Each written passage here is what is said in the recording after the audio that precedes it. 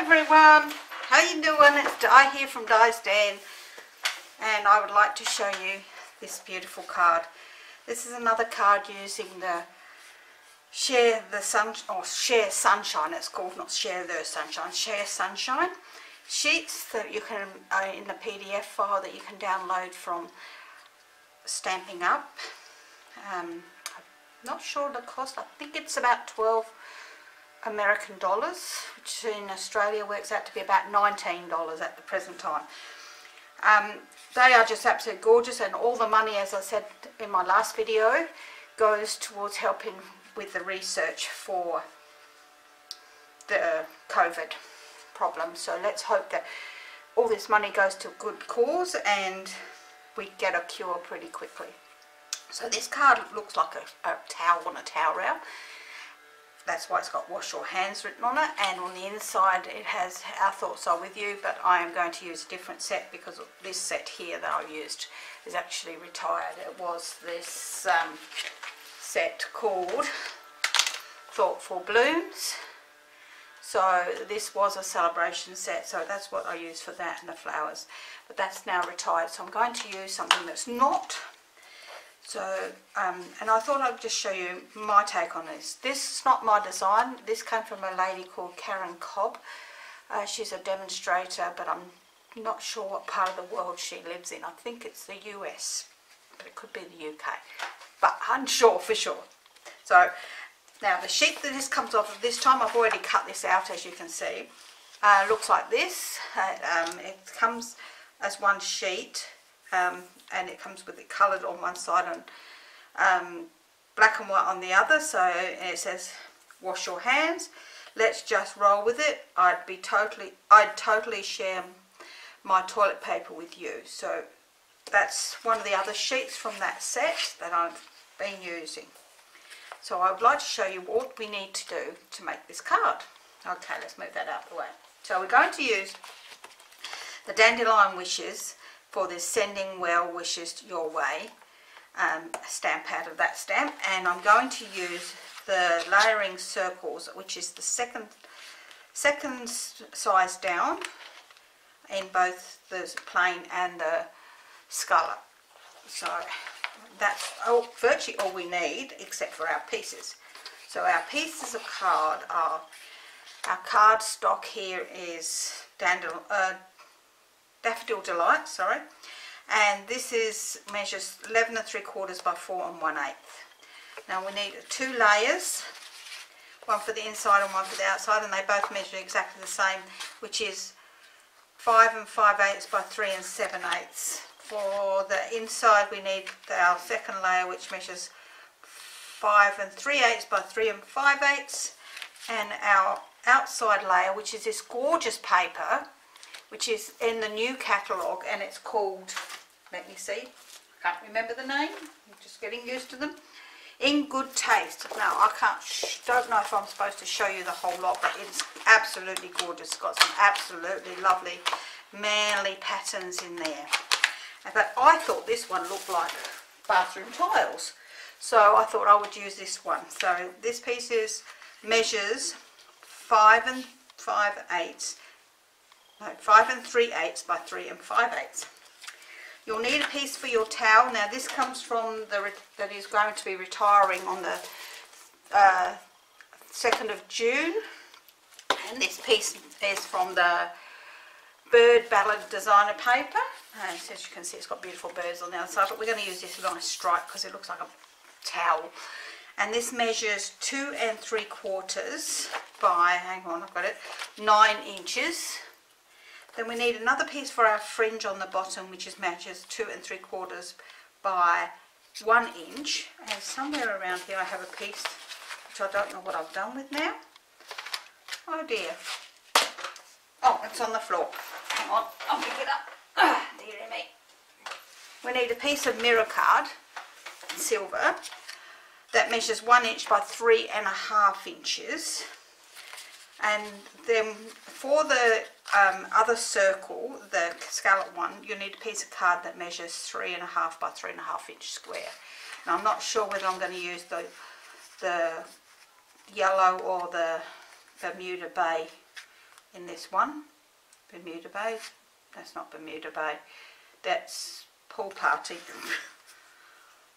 So I'm not sure which one I'm going to use. So I've got the two there just in case.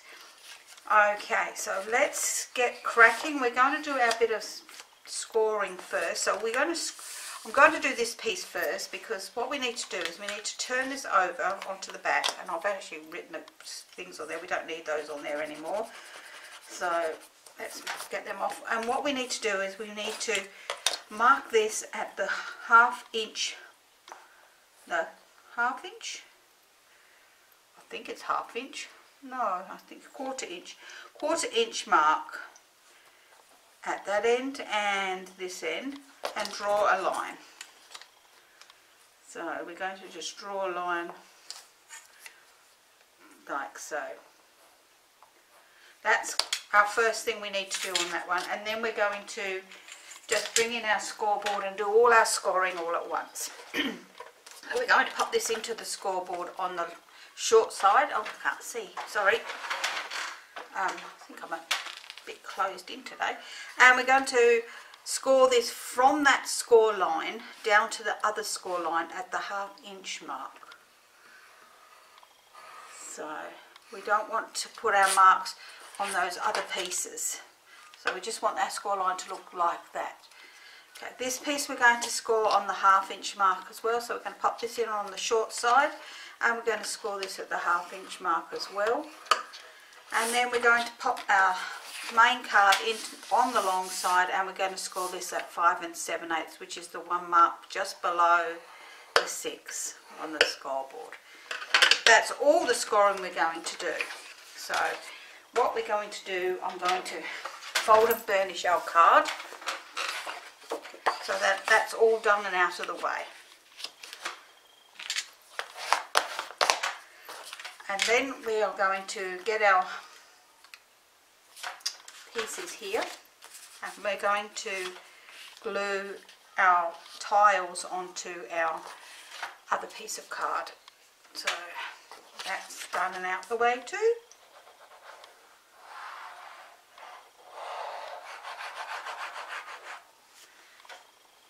Let's pop that out of the way and put this on here. And squish that down nice and hard and then put this onto the front of the card. This is another one of those quick and easy cards and I just think it looks very effective. And again it's a nice card for someone who's not feeling well so I think it doesn't really matter which way up this these tiles go. Depends on how you want them I guess that's our front of our card. Oh, excuse me itch. So what we're going to do now is we're going to bring in our piece that looks like our towel and we're just going to run this through our uh, foam folder just to break the fibres a little bit and to make it so that it curls. And then we're going to put some glue about one and a half inches two inches up, up the piece. Doesn't have to be really high. And then we're going to glue the two pieces together at the bottom. Okay. And that is our bottom of our card. Sorry my dog's barking. And then I'm going to just pull this up here because we don't want all that height. So we're going to just pull this up so it's not quite as high. And I've got a little bit of trimming to do there so it's just a little bit off. That looks better. And that's the height we, we want this towel. So we're going to pop our towel onto the front of our card so that it sits oops let's pop it into the picture it sits like this so I'm just going to trim this side this one looks like it needs a little bit of a trim as well and Yep, that's, that's better. So we're going to pop some glue onto the back of this, all the way down, and glue this to the front of the card. Leaving enough room at the top and bottom for everything else that's got to go on here. Once you're happy with where it's centralised, just push it down, but without pushing it down too hard.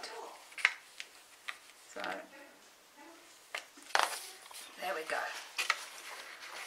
So now we're going to get our piece of card that we've put this funny line through the middle and we're going to turn it over and we're going to cut along one of these lines that we cut on the side, we drew on the side and the other one and then we're going to cut it off at that piece through the middle where the line is. So our towel rail looks like this. I'm going to bring in my rounder, corner rounder, and I'm just going to round the corners on my towel rail because I think that it will look a little bit better than last time with it being square. And I'm going to then get some, I have these long foam pads which I'm going to cut one in half.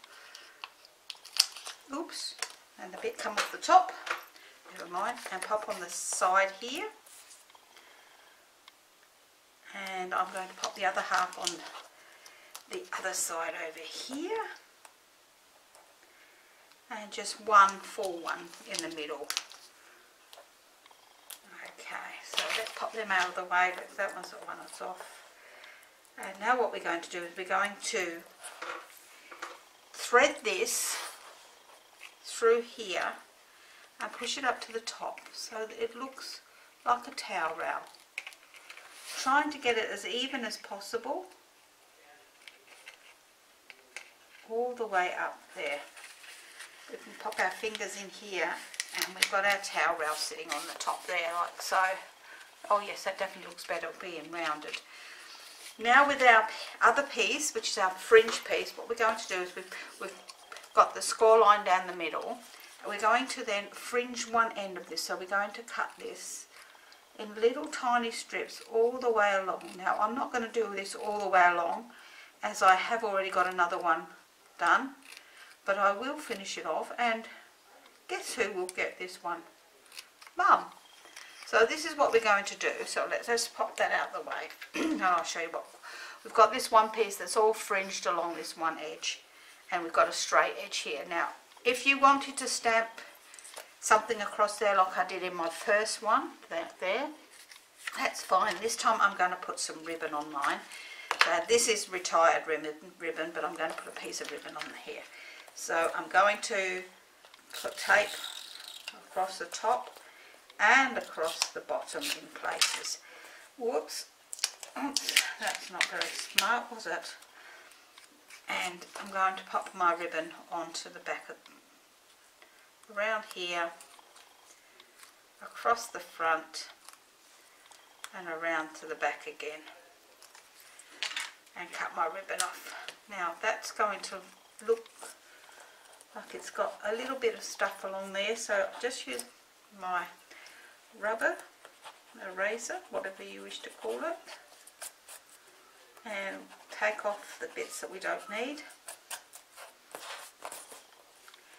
top and bottom. There we go. So that's going to go onto our front of our card and that's going to sit here. So we're going to pop that on with some glue again. So we're going to go, go glue this, oops, let's pop it along the top and bottom and through the middle there.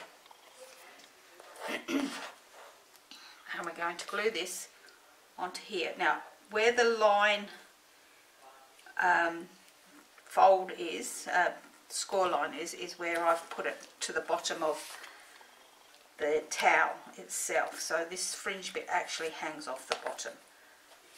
Um, just a bit wonky, it's not very straight. So let's move him a bit better, that's better. And that's our towel for the front of the card. Now comes my choice of whether I want to go that way or that way. I think the yellow, so we're going to go yellow. So we'll pop our saying, wash your hands onto our yellow scallop circle and now he's looking beautiful so let's pop that and I'll turn that over like that. And I'm going to put a couple of normal dimensions on the back. And we're going to pop them onto the front of the card then.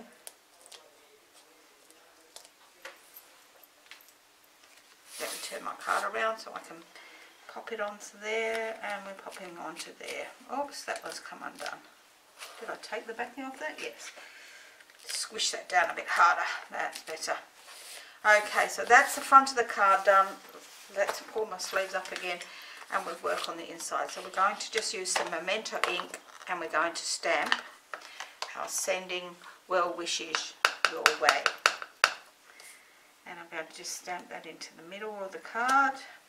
And that's all the stamping we're doing because our other saying was already stamped. Let's let that dry for a second. And we're going to glue this to the, the other piece of card, which is Pool Party.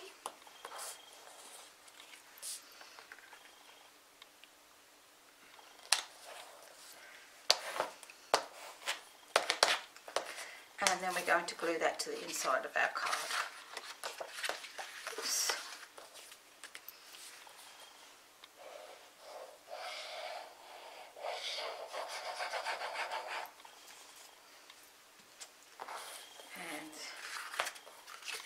Smooth that sitting up there like that a bit better, that's better.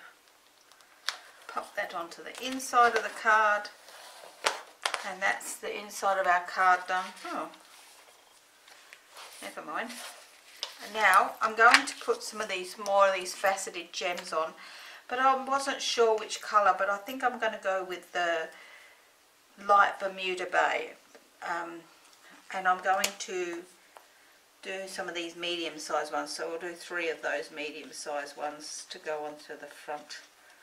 I'm going to colour them like before and as I said these these gems actually retire on the, the 2nd of May uh, June sorry. And if you wish to get some beforehand they come in clear or gold. If you wish to get some beforehand I would suggest that you get in pretty quickly because I'm sure that people will stock up because they're just so gorgeous. And we're going to pop these onto the front of our card wherever we feel that they need to go. I'm going to pop that one there, so there we go. I'm happy with that, so that's my card for this week. And this is my card from last week, uh, this the one that I did it from. Thank you, Karen Cobb, for your inspiration for this card. And remembering that last week we did this card, which was using some of the other, I don't know what that is on there, um, other um, sayings from the Share Sunshine lot. Now I want to do a little bit of an update too. I actually did this card, excuse me for coming in, just going into the picture. Um, I actually did this card, I'll pop that at the back of the table, fancy doing that, three, two, two weeks back. And um, I, when my mum was up last week and we had a play with the new ornate garden set, we had a go and I changed it up by rounding the edges on it all. And I just thought I'd like to show it with you to you, as I actually thought that this looked better than that.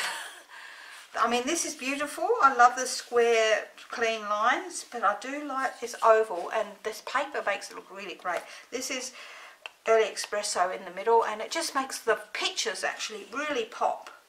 So I just wanted I'd show that one to you, so that if you had a thought of doing this card, but you wanted it to look a little bit more popped, why not round the corners? And it will look so fantastic.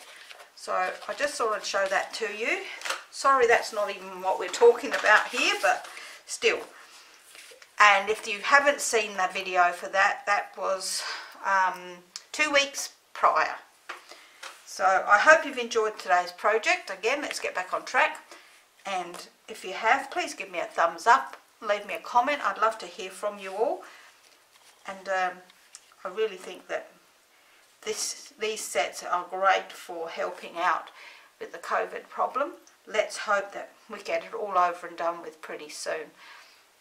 And I will see you again next week. Bye for now.